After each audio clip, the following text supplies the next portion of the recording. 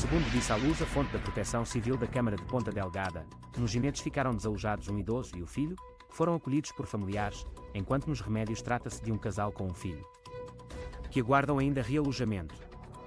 Ainda nos remédios, ficou desalojado um casal com cinco crianças, que aguarda igualmente realojamento, sendo que o casal desalojado de Santo Antônio, com três filhos, foi realojado no centro paroquial. A Câmara Municipal e o Serviço Municipal de Proteção Civil de Ponta Delgada referem que foram registadas, devido à forte chuva.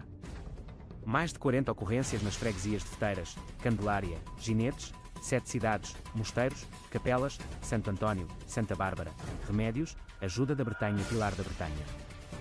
De acordo com o município, as situações reportadas estão, sobretudo, relacionadas com estragos e inundações em vias municipais e habitações, tendo também sido registados transbordos de ribeira consequentemente, danos de monta em viaturas. Várias vias municipais estiveram cortadas ao trânsito nas freguesias dos Ginetes, Capelas, Santo António, Remédios e Ajuda da Bretanha.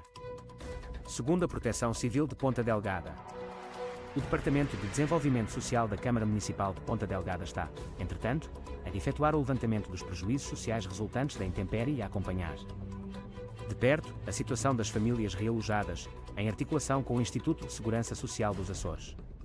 56 ocorrências, como inundações, foram registadas entre a noite de domingo e hoje nos concelhos de Ponta Delgada e Ribeira Grande.